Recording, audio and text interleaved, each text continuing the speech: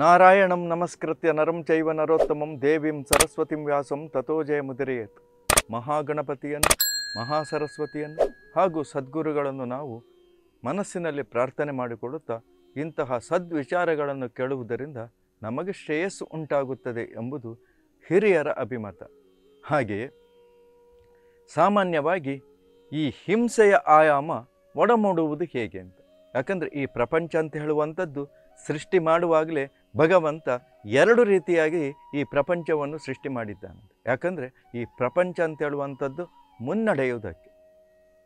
ಅಂದರೆ ಈ ಪ್ರಪಂಚದಲ್ಲಿರುವ ಎಲ್ಲ ವಸ್ತುಗಳು ಕೂಡ ಮನುಷ್ಯನ ಉಪಯೋಗಕ್ಕಾಗಿ ಇರುವಂಥದ್ದು, ಭೋಜ್ಯಕ್ಕಾಗಿ ಇರುವಂಥದ್ದು. ಆದರೆ ನಾವು ಇಲ್ಲಿ ಭಗವಂತ ನಮಗೊಂದು ವಿಶೇಷವಾದಂತಹ ಶಕ್ತಿಯನ್ನು ಕೊಟ್ಟದ್ದರಿಂದ, ಅಂದರೆ ಮಾತನಾಡುವ ಶಕ್ತಿ ಯೋಚಿಸುವಂಥ ಶಕ್ತಿ, ಯಾವುದು ಒಳ್ಳೆಯದು, ಯಾವುದು ಕೆಟ್ಟದ್ದು ಅಂತ ಹೇಳುವಂಥ ನಿರ್ಧರಿಸುವ ಶಕ್ತಿಯನ್ನು ಕೂಡ ನಮಗೆ ಭಗವಂತ ಆಗಲೇ ಕೊಟ್ಟದ್ದರಿಂದ, ನಾವು ಎಲ್ಲಿ ಭೋಜ್ಯ ಯಾವುದು, ಅಭೋಜ್ಯ ಯಾವುದು ಎಂದು ತಿಳಿದು ವರ್ತಿಸತಕ್ಕವನೇ, ಅದರಂತೆ ನಡೆಯತಕ್ಕವನೇ, ಅವನ ಮುಂದೆ ಸುಕೃತಿಯನ್ನು ಹೊಂದತಕ್ಕವನು. ಅವನ ಮುಂದೆ ಜನ್ಮ ಅಂತ ಇದ್ದರೆ ಮುಂದಿನ ಜನ್ಮ ಅಂತ ಹೇಳುವಂಥದ್ದು ಒಳ್ಳೆಯದನ್ನು ಪಡಿತಾನೆ. ಒಳ್ಳೆಯದನ್ನು ಅನುಭವಿಸ್ತಾನೆ. ಒಳ್ಳೆ ರೀತಿಯಾಗಿ ಆತ ವ್ಯ- ವ್ಯವಹಾರವನ್ನು, ಜೀವನವನ್ನು ನಡೆಸಿಕೊಂಡು ಹೋಗಲಿಕ್ಕೆ ಸಾಧ್ಯ ಆಗ್ತದೆ. ಆಯ್ಕೆ ಮಾತ್ರ ಅದು ಭಗವಂತ ನಮಗೇ ಬಿಟ್ಟು ಬಿಟ್ಟಿದ್ದಾನೆ ನಮ್ಮ ಇಷ್ಟಕ್ಕೆ ಆತ ಬಿಟ್ಟು ಬಿಟ್ಟಿದ್ದಾನೆ ಹಾಗಿರುವಂಥ ಸಂದರ್ಭದಲ್ಲಿ ಈ ಪ್ರಪಂಚದಲ್ಲಿ ಒಳಿತು, ಕೆಡುಕು ಅಂತ ಹೇಳುವಂಥದ್ದು ಉಂಟು. ನಾವು ಸಾಮ, ಸಮಾಜದಲ್ಲಿ ಸಾಮಾನ್ಯವಾಗಿ ಹಿಂಸೆ ಅಂತೆ ಕಾಣ್ತೇವೆ. ಒಬ್ಬರನ್ನು ನಾವು ಪೀಡಿಸುವಂಥದ್ದು ಇನ್ನೊಬ್ಬರಿಂದ ನಾವು ಪೀಡೆಗೆ ಒಡಗಪಡುವಂಥದ್ದು, ಕಷ್ಟ ಸುಖವನ್ನು ಅನುಭವಿಸುವಂಥದ್ದು, ಇನ್ನೊಬ್ಬರಿಂದ ತೊಂದರೆಯನ್ನು ಅನುಭವಿಸುವುದು, ಇದು ಹಿಂಸೆಯ ಆಯಾಮ ಅಂತ ಹೇಳುವಂಥದ್ದು. ಹಾಗಾದರೆ ಈ ಹಿಂಸೆ ಅಂತ ಹೇಳುವಂಥದ್ದು ಬರುವಂಥದ್ದು, ಅದಕ್ಕೆ ಕಾರಣಗೇನು, ಅದರ ಮೂಲ ಅಂತ ಹೇಳುವಂಥದ್ದು ಏನು ಎಂಬುದು, ಅದು ಒಡಮೂಡುವುದು ಎಲ್ಲಿಂದ ಎಂಬುದನ್ನು ನಾವು ನೋಡುವುದಿದ್ರೆ, ಹಿಂದೆ ದೇವಾದಿ ದೇವತೆಗಳು ಆಡಳಿತವನ್ನು ಸ್ವರ್ಗದಲ್ಲಿ ಅನುಭವಿಸುತ್ತಿರುವಂಥ ಸಂದರ್ಭದಲ್ಲಿ ದೇವರಾಜ ಅವರಿಗೆ ಅಧಿಕಾರಿಯಾಗಿ ಇತ್ತ ಹಾಗೆ ಇತ್ತ ಪಾತಾಳ ಲೋಕದಲ್ಲಿ ರಾಕ್ಷಸರು ಆಡಳಿತವನ್ನು ನಡೆಸಿಕೊಂಡು ಅವರು ಇರುವಂಥದ್ದು. ಆದರೆ ದೇವತೆಗಳಿಗೂ ಅಸುರರಿಗೂ ಕೂಡ ಅಲ್ಲಿ ವಿರುದ್ಧವಾದಂತಹ ಒಂದು ಸ್ವಭಾವ. ಒಬ್ಬರನ್ನು ಕಂಡರೆ ಒಬ್ಬರಿಗಾಗುವುದಿಲ್ಲ ಪರಸ್ಪರ ಶತ್ರುಗಳಾಗಿ ವರ್ತಿಸುವಂಥದ್ದು. ಹೀಗೆ ರಾಕ್ಷಸರು ದೇವತೆಗಳನ್ನು ಕುರಿತು ತಪಸ್ಸನ್ನು ಮಾಡಿ ಬ್ರಹ್ಮಾದಿ ದೇವತೆಗಳಿಂದ ವರವನ್ನು ಪಡೆದು ದೇವಲೋಕಕ್ಕೆ ಹೋಗಿ ಅವರಿಗೇ ಉಪಟಳವನ್ನು ಕೊಡುವಂಥದ್ದು. ಇನ್ನೇನು ದೇವೇಂದ್ರ ಎಲ್ಲವೂ ಸರಿ ಹೋಯಿತು, ಇನ್ನು ಚೆನ್ನಾಗಿ ನಾನು ಇದ್ದೇನಂತ ಹೇಳುವಂಥ ಸಂದರ್ಭದಲ್ಲಿ ಯಾವನಾದರೂ ಒಬ್ಬ ರಾಕ್ಷಸ ಒಂದು ವರವನ್ನು ಪಡ್ಕೊಂಡು ಬಂದು ಅಲ್ಲಿ ದೇವರಾಜನಿಗೆ ಅಲ್ಲಿ ಉಪಟಳವನ್ನು ಕೊಡುವಂಥ ಸಂದರ್ಭ. ಇದರಿಂದ ಚಿಂತಿತನಾದಂತಹ ದೇವೇಂದ್ರ ಆತನ ಮನಸ್ಸಿಗೆ ಬರ್ತದೆ. ಇದೆಲ್ಲದಕ್ಕೂ ಒಂದು ರೀತಿಯಾದಂಥ ಅಂತ್ಯವನ್ನು ಹಾಡಬೇಕು. ಸುಭದ್ರವಾದಂತಹ ಒಂದು ರಾಜ್ಯವನ್ನು ನಾನು ಸ್ಥಾಪನೆ ಮಾಡಬೇಕು, ಆಡಳಿತವನ್ನು ನಡೆಸಬೇಕು. ಈ ರೀತಿಯಾದಂಥ ಚಿಂತನೆಯಲ್ಲಿ ಆತ ಇದ್ದಾಗ ಈ ದೇವಸೇನಾನೆ ಅಂದರೆ ಈ ದೇವ ಸೇನೆಗೆ ಒಬ್ಬ ಸಮರ್ಥನಾದಂತಹ ನಾಯಕನನ್ನು ನಾನು ಮಾಡಬೇಕು ಅಂತ ಆತ ಚಿಂತನೆಯನ್ನು ಮಾಡಿಕೊಂಡು ಆತ ಮಾನಸ ಪರ್ವತಕ್ಕೆ ಅಲ್ಲಿ ಬಂದು ಕುಳಿತುಕೊಂಡು ಆತ ಒಬ್ಬನೇ ಚಿಂತನೆಯನ್ನು ನಡೆಸುವಂಥದ್ದು. ಇದರ ಕುರಿತು ಆಲೋಚನೆಯನ್ನು ಮಾಡುವಂಥದ್ದು. ಹಾಗೆ ಈ ರೀತಿಯಾಗಿ ಚಿಂತನೆಯಲ್ಲಿ ಇರುವಂಥ ಸಂದರ್ಭದಲ್ಲಿ ಪರ್ವತದ ತಪ್ಪಲಿನಲ್ಲಿ ಓರ್ವ ಸ್ತ್ರೀಯ ಅಲ್ಲಿ ರೋದನವು ಕೇಳಿಸುವಂಥದ್ದು ಆತನಿಗೆ ಕೇಳಿಸ್ತದೆ. ಮೊದಲೇ ಆತ ರಾಜನಾಗಿದ್ದ, ದೇವತೆಯ ಅರಸನಾಗಿದ್ದ, ಹೀಗಿರುವಾಗ ಒಬ್ಬ ಅಬಲೆಯ ಕೂಗು ಕೇಳಿದಂಥ ಸಂದರ್ಭದಲ್ಲಿ ಸುಮ್ಮನೆ ಸುಮ್ಮನೆ ಇರಲಾರದೆ ಆತ ಹೋಗಿ, ಅವಳಿಗೆ ಯಾರು, ಅವಳಿಗೆ ಏನಾಯಿತು, ಯಾಕೆ ರೋಧಿಸುತ್ತಾಳೆ ಎಂಬುದನ್ನು ತಿಳಿದುಕೊಳ್ಬೇಕು ಅಂತ ಅತ್ತ ಹೋದಂತಹ ಸಂದರ್ಭದಲ್ಲಿ ಸ್ವಲ್ಪ ದೂರದಲ್ಲಿ ಒಬ್ಬ ರಾಕ್ಷಸ ಒಂದು ಹೆಣ್ಣೊಬ್ಬಳನ್ನು ಹಿಡಿದೆಳೆಯುತ್ತಿದ್ದ. ಆಕೆಯನ್ನು ಎಳೆತರುವಂಥ ಪ್ರಯತ್ನವನ್ನು ಮಾಡುತ್ತಿದ್ದ. ಇದನ್ನು ತಡೆದು ದೇವೇಂದ್ರ ಪ್ರಶ್ನೆ ಮಾಡ್ತಾನೆ, ಯಾಕೆ ನೀನು ಅಬಲೆಯನ್ನು ಅಲ್ಲಿ ಈ ರೀತಿಯಾದಂಥ ಹಿಂಸೆಗೆ ಗುರಿಪಡಿಸುತ್ತೆ ಯಾಕೆ ಆಕೆಗೆ ತೊಂದರೆಯನ್ನು ಕೊಡ್ತಾ ಇತ್ತಿ ನಾನೇನು ಸಾಮಾನ್ಯನಲ್ಲ, ದೇವರಾಜನಾಗಿದ್ದೇನೆ. ಹಾಗಿರುವಂಥ ಸಂದರ್ಭದಲ್ಲಿ ನೀನು ಆಕೆಯನ್ನು ಬಿಟ್ಟು ಇಲ್ಲಿಂದ ತೆರಳುವುದು ಒಳಿತು. ಇಲ್ಲದಿದ್ದರೆ ನೀನು ನನ್ನ ಇಲ್ಲಿರುವಂತಹ ವಜ್ರಾಯುಧಕ್ಕೆ ನೀನು ತುತ್ತಾಗಬೇಕಾಗ್ತದೆ ಎಂಬಂಥ ಮಾತು ಹೇಳಿದಾಗ ಆ ಎಳೆದಾಡುತ್ತಿದ್ದಂಥ ರಾಕ್ಷಸನು ಕೂಡ ಅಲ್ಲಿ ಪ್ರತಿಯಾಗಿ ಅಲ್ಲಿ ಮಾತನ್ನಾಡುವಂಥದ್ದು ಈತನಲ್ಲಿ ಹೇಳ್ತಾನೆ, ನೀನು ಯಾರೇ ಆಗಿರು ಈಕೆಯನ್ನು ಎಳೆದು ಕರೆದುಕೊಂಡು ಹೋಗುವುದು ಸತ್ಯವೇ. ಹಾಗಿರುವಾಗ ನೀನೇ ಇಲ್ಲಿಂದ ತೆರಳಿದರೆ ನಿನಗೆ ಉಚಿತವೆನಿಸಿತು, ನಿನಗೆ ಒಳ್ಳೆಯದಾಗುತ್ತದೆ ಎಂಬಂಥ ಮಾತನ್ನು ಬಂದಾಗ ಅಲ್ಲಿ ಅದಕ್ಕೆ ಒಪ್ಪದಂತಹ ಇಂದ್ರ ಯುದ್ಧಕ್ಕೆ ಮುಂದಾದಂಥ ಸಂದರ್ಭ ಆ ರಾಕ್ಷಸನ ಕೈಯಲ್ಲಿದ್ದಂಥ ಪ್ರಬಲವಾದಂಥ ಗದೆಯನ್ನು ಅಲ್ಲಿ ಗಿರಗಿರನೆ ತಿರುಗಿಸಿ ಇಂದ್ರನ ಮೇಲೆ ಪ್ರಯೋಗವನ್ನು ಮಾಡುವಂಥದ್ದು. ಇಂದ್ರನಾದರೂ ಕೂಡ ತನ್ನಲ್ಲಿರುವಂತಹ ಶ ವಿಶೇಷವಾದಂಥ ವಜ್ರಾಯುಧವನ್ನು ಅಲ್ಲಿ ಪ್ರಯೋಗಿಸಲ್ಪಟ್ಟಾಗ ಆ ಗದೆಯು ಪುಡಿ ಪುಡಿಯಾಗಿ ಕೆಳಕ್ಕೆ ಬಿದ್ದಂಥ ಸಂದರ್ಭದಲ್ಲಿ ರಾಕ್ಷಸನು ಅತ್ಯಂತ ಬಲಶಾಲಿಯಾಗಿದ್ದ ಕಾರಣ ಪರ್ವತದ ಶಿಖರವನ್ನೇ ಮುರಿದು ಇಂದ್ರನ ಮೇಲೆಗೆ ಪ್ರಯೋಗಿಸಲು ಇಂದ್ರನು ಮತ್ತೆ ಪುನಃ ತನ್ನಲ್ಲಿದ್ದಂಥ ವಜ್ರಾಯುಧದಿಂದ ಆ ಶಿಖರವನ್ನು ಹೊಡೆಯಲು ಆ ಪರ್ವತದ ಶಿಖರ ಎರಡು ಹೋಳಾಗಿ ಒಂದು ಹೋಳು ರಾಕ್ಷಸನ ಮೇಲೆ ಪ್ರಹರಿಸಲು ರಾಕ್ಷಸ ಅದರ ಬಾಧೆಯನ್ನು ಅದರ ಬಾಧೆಯನ್ನು ತಾಳಲಾರದೆ ಅಲ್ಲಿ ಮೂರ್ಛಿತನಾಗುವಂಥದ್ದು. ಇದರಿಂದ ಆತ ಆ ಪ್ರದೇಶವನ್ನು ಬಿಟ್ಟು ಓಡಿ ಹೋಗುವಂಥದ್ದು. ಅಂದರೆ ಈ ಒಂದು ಸಣ್ಣ ಕಥೆಯನ್ನು ಯಾಕೆ ನಾನು ನಿಮ್ಮ ಮುಂದೆ ಇಡ್ತಾ ಇದ್ದೇನೆಂದರೆ ಹಿಂಸೆಯ ಒಂದು ಆ ರೂಪ ಅಂತೇಳುವಂಥದ್ದು ಬರಲಿಕ್ಕೆ ಕಾರಣವೇ ಇಂತಹ ಒಂದು ಸಣ್ಣ ಸಣ್ಣ ವಿಚಾರ. ಒಂದು ಸಣ್ಣ ವಿಚಾರಕ್ಕಾಗಿ ಅದು ಎಷ್ಟು ದೊಡ್ಡ ಯುದ್ಧ ಆಗುತ್ತದೆ ಕದನ ಆಗುತ್ತದೆ ಎಂಬುದು ನಾವು ಇತಿಹಾಸಗಳಿಂದ, ಪುರಾಣಗಳಿಂದ, ಪ್ರಸ್ತುತ ಈಗ ನಡೆಯುತ್ತಿರುವ ಸನ್ನಿವೇಶಗಳಿಂದ ಈ ಮೂಲಕ ಅರಿತುಕೊಳ್ಳಿಕ್ಕೆ ಸಾಧ್ಯ ಉಂಟು ನಿಜಕ್ಕೂ ಹಿಂಸೆಗೆ ಮೂಲ ಕಾರಣ ಅಂತ ಹೇಳುವಂಥದ್ದು ಅತ್ಯಂತ. ಆದರೆ ಅದರಿಂದ ಉಂಟಾಗುವಂಥ ಭೀಕರ ಪರಿಣಾಮ ಅಂತ ಹೇಳುವಂಥದ್ದು ಬಹಳ ವಿಶೇಷವಾಗಿರುತ್ತದೆ. ಹಾಗೆ ಇದು ಒಂದು ಈ ಸಣ್ಣ ಪ್ರಸಂಗದಿಂದ ನಾವು ಅರಿತುಕೊಳ್ಬೋದು. ಆದರೆ ಈ ಹಿಂಸೆಗೆ ಕ್ರೌರ್ಯಕ್ಕೆ ಇಂತಹದೇ ಕಾರಣ ಅಂತ ಹೇಳುವಂಥದ್ದು ಬೇಕಿಲ್ಲ. ಅಲ್ಲಿ ಆದರೂ ಒಂದು ಒಬ್ಬಳ ಅಬಲೆಗೆ ತೊಂದರೆ ಆಯಿತು ಅಂತ ಹೇಳಿ ಇಂದ್ರ ಹೋಗಿ ರಕ್ಷಣೆಗೆ ಹೋದಂಥ ಸಂದರ್ಭ. ಆದರೆ ಸಾಮಾನ್ಯವಾಗಿ ನಾವು ಆಲೋಚನೆ ಮಾಡಲಿಕ್ಕೆ ಹೋದಾಗ ಈ ಹಿಂಸೆಗೆ ಮನುಷ್ಯನಿಗೆ ಇದೇ ರೀತಿಯಾದಂಥ ಕಾರಣ ಬೇಕು ಅಂತಿಲ್ಲ. ಆತನ ಮನಸ್ಸು ಅಂತೇಳುವಂಥದ್ದು ಅಲ್ಲಿ ಆ ರೀತಿಯಾದಂಥ ಕಾರ್ಯಗಳನ್ನು ಮಾಡಿದಾಗ ಅಥವಾ ಯೋಚನೆಯನ್ನು ಕೊಟ್ಟಾಗ ಹಿಂಸೆಗೆ ಯಾವುದೇ ಸಂದರ್ಭದಲ್ಲೂ ಕೂಡ ಅವಕಾಶ ಸಿಕ್ಕುತ್ತದೆ ಎಂಬುದಕ್ಕೆ ನೋಡಿ ಕಾಡು ಜನಾಂಗದ ಕೆಲವರು ಕಡವೆ ಜಾತಿಯ ಪ್ರಾಣಿಯೊಂದನ್ನು ಬೇಟೆಯಾಡ್ತಾರೆ. ಸಾಮಾನ್ಯವಾಗಿ ನಾವು ಕಾಡಿನಲ್ಲಿ ಕಾಡು ಮನುಷ್ಯರು ಅಂತ ಹೇಳ್ತೇವೆ. ಅಥವಾ ಕಾಡಿನಲ್ಲಿ ವಾಸಿಸುವವರು ಅಂತ ಹೇಳ್ತಾರೆ. ನೋಡಿ, ಅವರ ಮನಸ್ಸಿನಲ್ಲಿ ಆ ಹಿಂಸೆಗೆ ಯಾವ ರೀತಿಯಾದಂತಹ ಒಂದು ಅವಕಾಶ ಇರ್ತದಂದರೆ, ಯೋಚನೆ ಇರ್ತದಂದರೆ, ಅವರು ಕೆಲವು ಪ್ರಾಣಿಗಳನ್ನು ಅಲ್ಲಿ ಬೇಟೆಯಾಡ್ತಾರೆ. ಬೇಟೆಯಾಡುವುದು ಸಾಮಾನ್ಯ, ಹೊಟ್ಟೆ ಹಸಿತು ಹಸಿವನ್ನು ನೀಗಿಸಿಕೊಳ್ಳುವುದಕ್ಕಾಗಿ ಬೇಟೆ. ಆದರೆ ಇಲ್ಲಿ ನೋಡಿ ಯಾವ ರೀತಿ ಅವ್ರಿಗೆ ಹಿಂಸೆ ಮಾಡ್ತಾರಂದರೆ ಅವರು ಬೇಟೆಯಾಡಿ ತಿನ್ನುವುದು ಮಾತ್ರ ಅಲ್ಲ, ಸತ್ತ ಪ್ರಾಣಿಗಳನ್ನು ಸ್ಥಳದಲ್ಲಿಯೇ ಸುಲಿದು ರಕ್ತವನ್ನು ಒಂದು ಕಡೆ ಸಂಗ್ರಹ ಮಾಡ್ತಾರೆ. ಹಾಂ, ಸಂಗ್ರಹ ಮಾಡಿಕೊಳ್ಳುವುದು ಮಾತ್ರ ಅಲ್ಲ, ಅದನ್ನು ತಮ್ಮ ಮೈ ತುಂಬ ಲೇಪನ ಮಾಡಿಕೊಳ್ಳುವ ಅಂದರೆ ಆ ಮನಸ್ಸಿನಲ್ಲಿ ಆ ಕ್ರೌರ್ಯ, ಹಿಂಸೆ ಅಂತ ಹೇಳುವಂಥದ್ದು ಅವರಲ್ಲಿ ಎಷ್ಟು ಆಳವಾಗಿ ಬೇರೂರು ಇರುತ್ತದೆ ಎಂಬುದಕ್ಕೂ ಇದು ಒಂದು ರೀತಿಯಾದಂಥ ಸಾಕ್ಷಿ. ಇದರಿಂದ ಅವರು ಸಂಭ್ರಮಿಸುತ್ತಾರೆ. ಅವರಿಗೆ ಗೊತ್ತಿರುವುದೇ ಅಷ್ಟು. ನಾವು ಸಂಭ್ರಮ ಅಂದರೆ ಆ ಪ್ರಾಣಿಗೂ ಒಂದು ದೇಹ ಉಂಟು, ಅದಕ್ಕೂ ಒಂದು ಜೀವ ಉಂಟು, ಅದಕ್ಕೂ ಒಂದು ಮನಸ್ಸುಂಟು ಅಂತ ಹೇಳುವಂಥ ಕಲ್ಪನೆಯೇ ಈ ಜನರಿಗೆ ಇರುವುದಿಲ್ಲ. ಅವರ ಮನಸ್ಸಿನಲ್ಲಿ ಇರುವಂಥದ್ದು ಕೇವಲ ಹಿಂಸೆ ಮಾತ್ರ. ಹಾಗೆ ಇದು ಅವರಿಗೆ ಗೊತ್ತಿಲ್ಲದ ವಿಚಾರ. ಆದರೆ ಹುಟ್ಟು ಮನುಷ್ಯನದ್ದಾದರೂ ಕೂಡ ಪ್ರಾಣಿಗಳಂತೆಯೇ ಅವರ ಜೀವನ. ಯಾಕಂದರೆ ಅಲ್ಲೂ ನಾವೊಂದು ರೀತಿಯಾದಂಥ ವಿಚಾರವನ್ನು ತಿಳ್ಕೊಳ್ಳುವುದಾದರೆ ಮನುಷ್ಯರಾಗಿ ಹುಟ್ಟಿದ್ದಾರೆ, ಆದರೆ ಪ್ರಾಣಿಗಳಿಗೂ ಅವರಿಗೂ ಏನು ವ್ಯತ್ಯಾಸ ಇಲ್ಲ. ನಾವು ಕಾಡಿನಲ್ಲಿ ನೋಡ್ತೇವೆ, ಒಂದು ಜೀವಂತ ಪ್ರಾಣಿಯನ್ನು ಮತ್ತೊಂದು ಬಲಯುತವಾದ ಪ್ರಾಣಿ, ಅದು ಜೀವಂತ ಇರುವಾಗಲೇ ಅದನ್ನು ಕೊಂದು ತಿನ್ನುವಂಥದ್ದು, ನಾನಾ ರೀತಿ ಹಿಂಸೆ ಗುರಿಪಡಿಸುವಂಥದ್ದು. ಅದೇ ರೀತಿ ಈ ಮನುಷ್ಯರ ಸ್ಥಿತಿಯು ಕೂಡ ಅದೇ ರೀತಿ ಆಗಿರುತ್ತದೆ. ಇನ್ನು ಜ್ಞಾನವನ್ನು ಪಡೆದಂಥ, ನಾವು ವಿವೇಕವನ್ನು ಪಡ್ಕೊಂಡಂತಹ, ಸಾಮಾನ್ಯರಾದಂಥ ನಾಡಿನಲ್ಲಿರುವಂಥ ನಮ್ಮ ಮನುಷ್ಯರು ಕೂಡ ಇದಕ್ಕೆ ಹೊರತಲ್ಲ. ಯಾಕಂದರೆ ಊರಿನಲ್ಲಿರುವ ನಾಗರಿಕ ಸಮಾಜದಲ್ಲೂ ಕೂಡ ಅಲ್ಲಿ ಮೂಢನಂಬಿಕೆಗಳಿವೆ. ಈ ಹಿಂಸೆ ಅಂತ ಹೇಳುವುದಕ್ಕೆ ಅದು ಒಂದು ಕಾರಣವಾಗಿರುತ್ತದೆ. ಹಾಗಾಗಿ ಆ ಮೂಢನಂಬಿಕೆಗಳಿಂದಾಗಿ ದನ, ಆಡು, ಕುರಿ, ಕೋಣ ಹೀಗೆ ನಾವು ಅನೇಕ ಪ್ರಾಣಿಗಳನ್ನು ಮನುಷ್ಯ ಕೊಂದು ತಿನ್ನುವಂಥದ್ದು ನಾವು ಕಾಣ್ತೇವೆ. ಅಸಂಖ್ಯಾತ ಪ್ರಾಣಿಗಳು ಇದರಿಂದ ನಾಶವಾಗುವುದನ್ನು ಕಾಣ್ತೇವೆ. ಮಾನವರೆಲ್ಲರೂ ಕೂಡ ಮಾನವೀಯತೆ ಎಂಬುದು ಇದ್ದುದೇ ಆದರೆ ಮನುಷ್ಯರಿಗೆ ನಿಜವಾಗಿ ಅಲ್ಲೊಂದು ನಮಗೆ ಒಂದು ಮಾನವೀಯತೆ ಉಂಟು, ಅದಕ್ಕೂ ಒಂದು ನೋವುಂಟು, ಅದಕ್ಕೂ ಒಂದು ಜೀವ ಉಂಟು. ನಮಗೆ ಒಂದು ಸೂಜಿ ಚುಚ್ಚುತ್ತದೆ ಅಂದರೆ ನಾವು ಭಯಪಡ್ತೇವೆ. ನಮ್ಮವರಿಗೆ ಯಾರಿಗಾರು ಒಂದು ಸೂಜಿ ಕೊಡ್ತಾರಂದ್ರೂ ನಾವು ಕಣ್ಣು ಮುಚ್ಚಿಕೊಂಡು ಅದನ್ನು ನಾವು ಕಷ್ಟ ಅಂತ ಅನುಭವಿಸ್ತೇವೆ. ಆದರೆ ಅದೇ ನಾವು ಕೂಡ ಅನೇಕ ಪ್ರಾಣಿಗಳನ್ನು ಯಾವ ರೀತಿ ಹಿಂಸೆ ಮಾಡ್ತೇವೆ ಎಂಬುದನ್ನು ನಾವು ಪ್ರತ್ಯಕ್ಷವಾಗಿ ದಿನನಿತ್ಯವೂ ಕಾಣ್ತೇವೆ. ಹಾಗೆ ನಮ್ಮಲ್ಲಿ ಆ ಮಾನವೀಯತೆ ಅಂತ ಹೇಳುವಂಥದ್ದು ಇದ್ದದ್ದೇ ಆದರೆ ಅವರು ಸುಧಾ ಸುಧಾರಿತ, ಸುಸಂಸ್ಕೃತ ಬದುಕನ್ನು ನಡೆಸಬೇಕಿತ್ತು. ನಾವು ನಾಗರಿಕರು, ತಿಳಿದವರು, ಎಲ್ಲ ಗೊತ್ತಿತ್ತು ಅಂತಾದರೆ ನಾವು ಕೂಡ ಆ ಸುಸಂಸ್ಕೃತವಾದಂತಹ ಒಂದು ಸಮಾಜದಲ್ಲಿ ಇದ್ದುದರಿಂದ ಆ ರೀತಿ ಜೀವನವನ್ನು ನಾವು ನಡೆಸಬೇಕಿತ್ತು.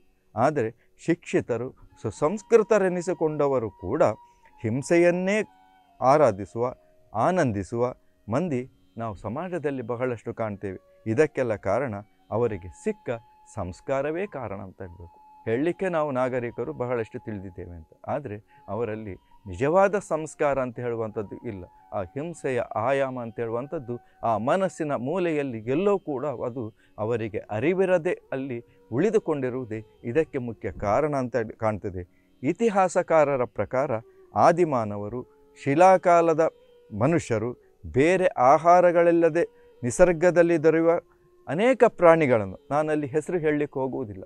ಅವರವರಿಗೆ ಆವಾಗ ಯಾವಾಗ ಪ್ರಾಣಿಗಳ ಮೇಲೆ ತಿನ್ನಬೇಕು ಅಂತ ಅನ್ನಿಸ್ತದೋ ಅಂಥ ಪ್ರಾಣಿಗಳನ್ನು ಕಲ್ಲಿನಿಂದಲೇ ವಧಿಸುತ್ತಾ, ಕೊಂದು ಪ್ರಾಣಿಗಳನ್ನು ಬೆಂಕಿಯಲ್ಲಿ ಬೇಯಿಸಿ ಭಕ್ಷಿಸುತ್ತಾ ಜೀವನವನ್ನು ನಡೆಸುತ್ತಿದ್ದರು.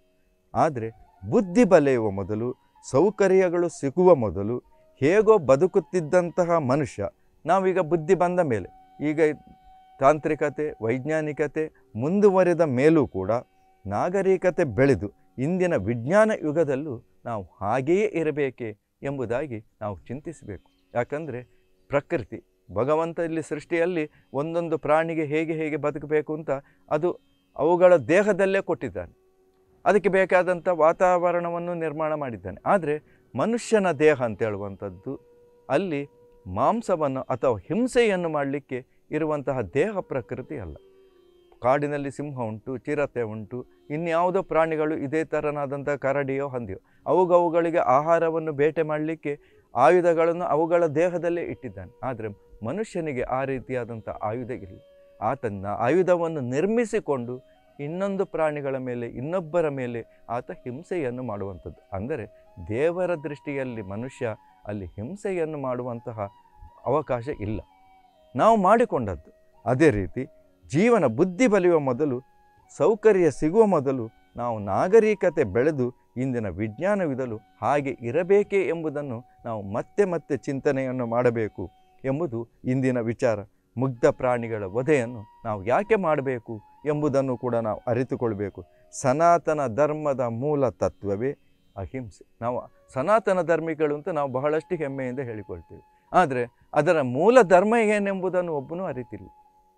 ಸನಾತನ ಧರ್ಮದ ಮೂಲವೇ ಅಲ್ಲಿ ಅಹಿಂಸೆ. ಇನ್ನೊಬ್ಬರಿಗೆ ನೋವಾಗದಂತೆ ನಾವಿರಬೇಕು. ಇನ್ನೊಬ್ಬನ ಮನಸ್ಸಿಗೆ ಬೇಸರ ಆಗದಂತೆ ಮಾತನಾಡಬೇಕು. ಅದೇ ರೀತಿ ನಾವು ವರ್ತನೆಯಲ್ಲಿ ಇರಬೇಕು. ಹಾಗೆ ನಮ್ಮ ಹೊಟ್ಟೆಯನ್ನು ತುಂಬಿಸಿಕೊಳ್ಳುವುದಕ್ಕಾಗಿ ಮೂಲ ತತ್ವವಾದಂತಹ ಈ ಅಹಿಂಸೆಯನ್ನೇ ನಾವು ಮರೆತು ಬಿಟ್ಟಿದ್ದೇವೆ. ಇತರ ಪ್ರಾಣಿಗಳ ಜೀವ ತೆಗೆಯುವುದು ಅದು ತಪ್ಪು ಎಂಬುದು ಅರ್ಥ ಮಾಡಿಕೊಳ್ಬೇಕು. ಈ ಪ್ರಪಂಚದಲ್ಲಿ ಬದುಕುವಂಥ ಹಕ್ಕು ನಮಗೆ ಎಷ್ಟಿದೆಯೋ ಅಷ್ಟೇ ಕೂಡ ಇತರ ಜೀವಿಗಳು ಇದೆ ಎಂಬುದನ್ನು ನಾವು ಸರಿಯಾಗಿ ಅರ್ಥ ಮಾಡಿಕೊಳ್ಬೇಕು. ಹಾಗೆ ಪ್ರಾಣಿಗಳಿಗೂ ಮಾತನಾಡಲು ಸಾಧ್ಯವಿಲ್ಲದ ಕಾರಣ ನಾವು ಅವುಗಳನ್ನು ಮೂಕ ಪ್ರಾಣಿ ಅಂತ ಹೇಳ್ತೇವೆ. ಹೆಚ್ಚಾಗಿ ನಾವು ಯಾರನ್ನ ಕೊಂದರೆ ಅವುಗಳು ಮೂಕ ಪ್ರಾಣಿಗಳು ಅಂತ. ಮೂಕ ಪ್ರಾಣಿಗಳಂದ್ರೆ ಏನು? ಒಂದು ರೀತಿಯಾಗಿ ನಾವು ಸರಿಯಾಗಿ ಆಲೋಚನೆ ಮಾಡಿದರೆ ಪ್ರಾಣಿಗಳು ಮೂಕ ಪ್ರಾಣಿಗಳಲ್ಲ. ಒಂದು ಇರುವೆಯ ಸಾಲನ್ನು ನೋಡಿ. ಅವುಗಳು ಸಾಲ ತಪ್ಪಿತು ಅಂತಾದರೆ ಮತ್ತೆ ಯಾವುದೋ ಒಂದು ದೊಡ್ಡ ಇರುವೆ ಬಂದು ಅದು ಸಾಲಿಗೆ ಮತ್ತೆ ಪುನಃ ಸೇರಿಸಿ ಬಿಡ್ತದೆ. ಹಾಗಾದರೆ ಅವುಗಳಿಗೆ ಭಾಷೆ ಇಲ್ಲದಿದ್ದರೆ ಸಾಧ್ಯ ಉಂಟ. ಒಂದು ದನ ಕರು, ಹಸುಗಳು ಬೇಕಾದರೆ ನೋಡಿ. ಅವುಗಳು ತನ್ನ ಕರುಗಳನ್ನು ಹೇಗೆ ಸಾಕ್ತವೆ? ಹೇಗೆ ಒಟ್ಟಿಗೆ ಮೇಯ್ತವೆ? ಒಟ್ಟಿಗೆ ಜೀವನವನ್ನು ನಡ್ತವೆ ಅವುಗಳದ್ದೇ ಆದಂಥ ಒಂದು ಭಾಷೆ ಅಂತ ಹೇಳುವಂಥದ್ದು ಪ್ರತಿಯೊಂದು ಪ್ರಾಣಿಗಳಲ್ಲೂ ಕೂಡ ಇದ್ದೇ ಇರ್ತದೆ. ಈಗ ನಾವು ಕೂಡ ಒಂದು ರೀತಿಯಾಗಿ ಮೂಕ ಪ್ರಾಣಿಗಳೇ. ಯಾಕಂದರೆ ನಮಗೆ ಎದುರುಗಡೆಯಿಂದ ಮಾತನಾಡುವ ಭಾಷೆ ಒಂದು ಸ್ವಲ್ಪವೂ ಅರ್ಥವಾಗದೇ ಇದ್ದಾಗ ನಾವು ಅವನಿಗೆ ಎದುರಾಗಿ ಮಾತನಾಡಲಿಕ್ಕೆ ಸಾಧ್ಯ ಇಲ್ಲ. ಆಗ ಅವನು ಎದುರಿನವನಿಗೇನು ತಿಳ್ಕೊಳ್ಬೇಕು? ಇವನು ಮೂಕ ಅಂತ ತಿಳ್ಕೊಳ್ಬೇಕು. ಯಾಕಂದರೆ ಅವನ ಭಾಷೆ ನಮಗೆ ಬರದೇ ಇದ್ದರಿಂದ ನಮಗೆ ಅದಕ್ಕೆ ಉತ್ತರವನ್ನು ಕೊಡಲಿಕ್ಕೆ ಸಾಧ್ಯವಾಗದೇ ಇದ್ದ ಕಾರಣ ಎದುರಿನವ ಇವನಿಗೆ ಮಾತನಾಡಲಿಕ್ಕೆ ಬರುವುದಿಲ್ಲ, ಮೂಕ ಅಂತ ಆತ ತಿಳ್ಕೊಳ್ತಾನೆ. ಅದೇ ರೀತಿ ಪ್ರಾಣಿಗಳ ಭಾಷೆ ಅಂತ ಹೇಳುವಂಥದ್ದು ನಮಗೆ ಅರ್ಥವಾಗದೇ ಇದ್ದ ಕಾರಣ ನಾವು ಅವುಗಳನ್ನು ಮೂಕ ಪ್ರಾಣಿಗಳು ಅಂತ ನಾವು ತಿಳ್ಕೊಳ್ತೇವೆ.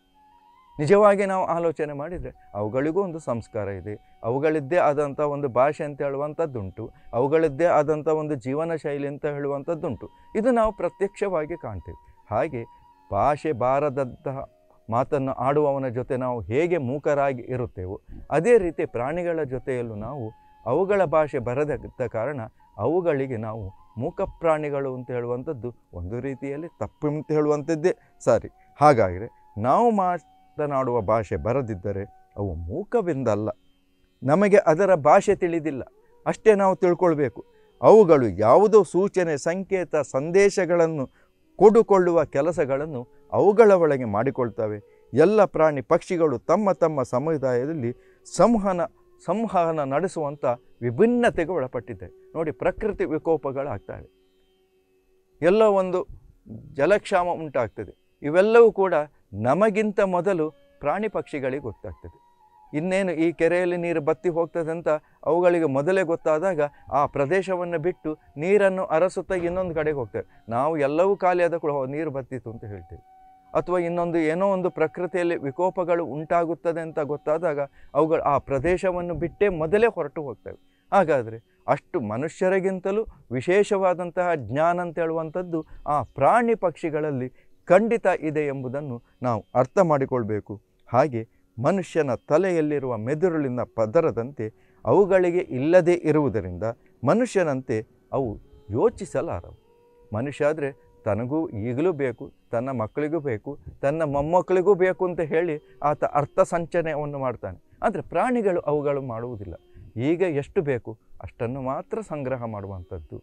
ಯಾಕಂದರೆ ಹಸಿವಾದಾಗ ಬೇಟೆಯನ್ನಾಡುವಂಥದ್ದು. ಅದರ ಮುಂಚೆ ಯಾವುದೇ ಅವುಗಳ ಶತ್ರು ಪ್ರಾಣಿಗಳು ಓಡಾಡಿದರೂ ಕೂಡ ಅವು ಹಿಂಸೆಯನ್ನು ಮಾಡುವಂಥದ್ದಲ್ಲ.